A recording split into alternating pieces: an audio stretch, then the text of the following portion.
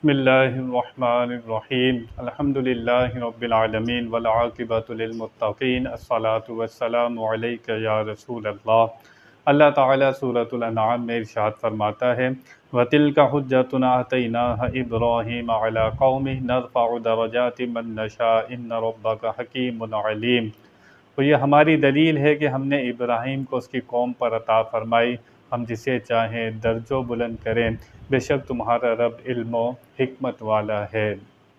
हज़रत इब्राहीम सलाम ने अपनी कौम से जो कलाम फरमाया, क्या ये तारा खुदा हो सकता है? क्या सूरज खुदा हो सकता है? जिनकी तुम इबादत करते हो, खुदा मानते हो, ये खुदा नहीं है। जो कलाम फरमाया हज़रत इब्राहीम सलाम ने, अल्लाह फरमाता है, यह हमारी दलील है। नबियों का उस्ताद दुनिया में कोई नहीं होता।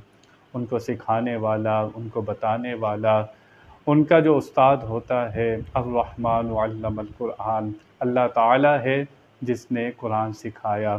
नबियों का दुनिया में कोई उस्ताद नहीं होता। उनको जो कुछ सिखाता है, रब ताला सिखाता है।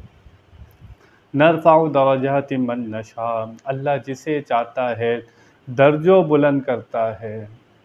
इंसान दुनिया में पूरा ज़ोर लगाता है कि लोग उसकी इज़्ज़त करें और वह बुलंद हो जाए।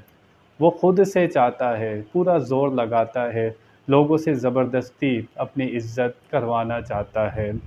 हालाँकि अल्लाह का वादा है कि अगर उसका फर्मा बरदार बन जाए, उसके रसूल का कोई फर्मा बरदार बन जाए, अल्लाह ताला उसको इज़्ज़त अता करता है, बुलंदी अता करता है।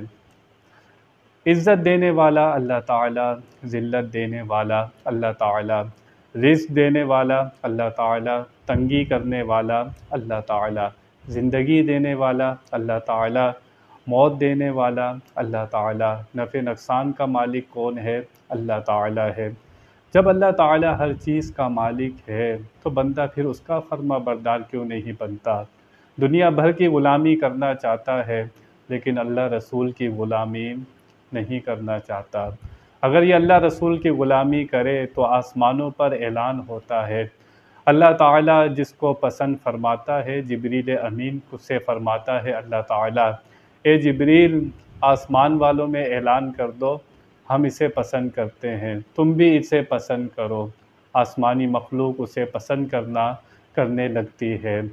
हज़रत जबरील अमीन फिर दुनिया में आते हैं, ज़मीन वालों में ऐलान करते हैं। कि अल्लाह ताला इस बंदे को पसंद करता है, तुम भी इसको पसंद करो। दुनिया वाले उससे मोहब्बत करने लग जाते हैं। यह ऐलान किसकी तरफ़ से होता है? अल्लाह ताला की तरफ़ से होता है। आज अगर ओलिया अल्लाह को देखें, उनको दुनिया से पर्दा फरमाए हुए सदियाँ गुज़र गई। लोग आज भी उनसे मोहब्बत करते हैं, क्योंकि उन्होंने अपने आप को अल्लाह ताला में फ़ना कर दिया था।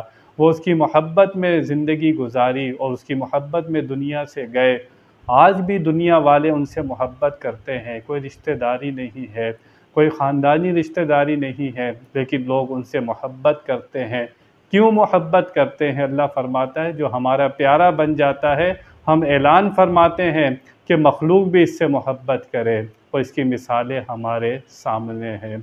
तो हकीकी इज़्ज़त अल्लाह ताला की तरफ़ से मिलती है।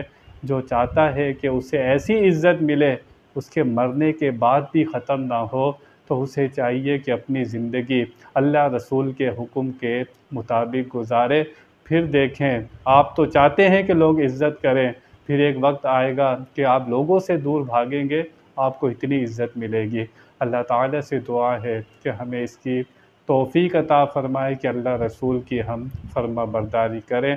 वाखिर दावाना अनिलहमदिल्ला रबालम